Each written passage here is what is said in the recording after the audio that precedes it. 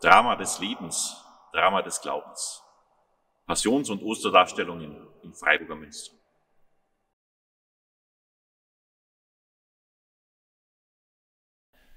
Das Drama des Lebens in allen Facetten, von Tod bis Schwangerschaft, von Neugier bis Gleichgültigkeit, von Spott bis Mitleid.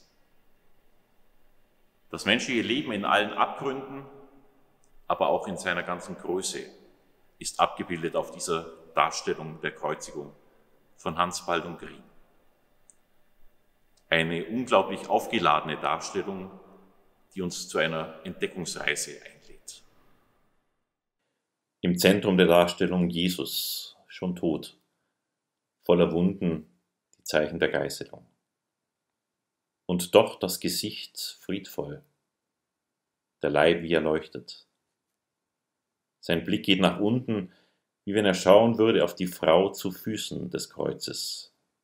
Maria Magdalena, die Sünderin, die damals als bekehrte Prostituierte galt, deshalb die offenen Haare und dieses Gewand.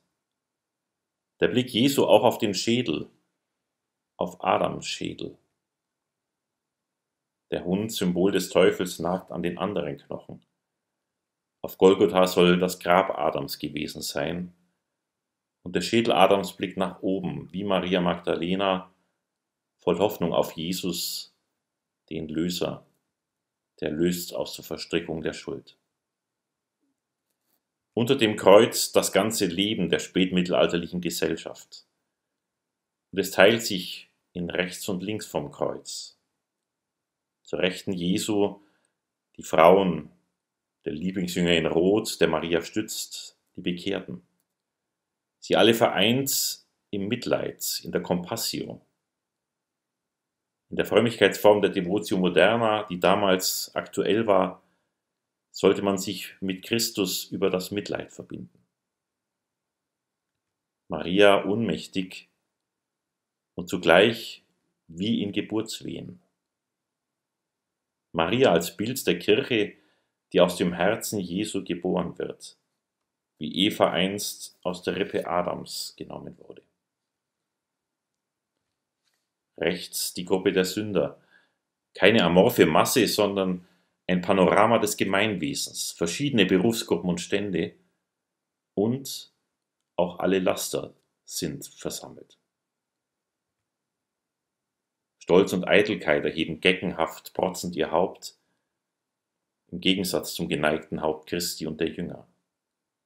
Der Neid blickt von unten auf die Frauen. Der Zorn mit hitzig dunkelrötlichem Gesicht, gefährlichen Augen, in der Faust einen Bogen, mit dem er einen Pfeil ausschicken wird. Die Unkeuschheit in Maria Magdalena, aber auch rechts neben ihr mit der Schamkapsel angedeutet. Die Unmäßigkeit, prächtig gekleidet, dick, selbstbezogen, wohl ein Porträt des Bürgermeisters von Freiburg. Die missmutige Trägheit schließlich ganz rechts, verschränkte Arme bequem auf die Keule gestützt, traurig. Sie alle im Gewand des 16. Jahrhunderts, damit der Betrachter sich wiedererkennen kann. Denn der Schlüssel zum Verständnis ist, dass vor diesem Bild im Spätmittelalter gebeichtet wurde. Dort wurde das Sakrament der Versöhnung gespendet. Beichtstühle wie heute gab es noch nicht.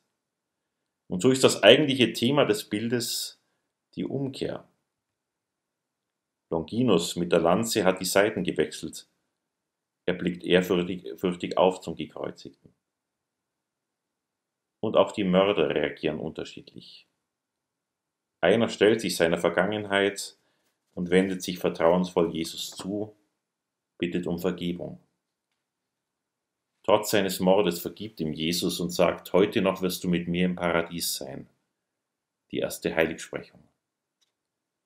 Dem spätmittelalterlichen Menschen, der sich um sein Heil sorgte, ein unheimlich trostvoller Satz. Doch es gibt auch den anderen Schächer, der sich verschließt in sich selbst. Die Schuld, die im Ich verschlossen bleibt, er lässt sich nicht vergeben. Und so ist die Kreuzigung ein Panorama des gesamten Lebens. Letztlich mit der Frage, wo erkenne ich mich?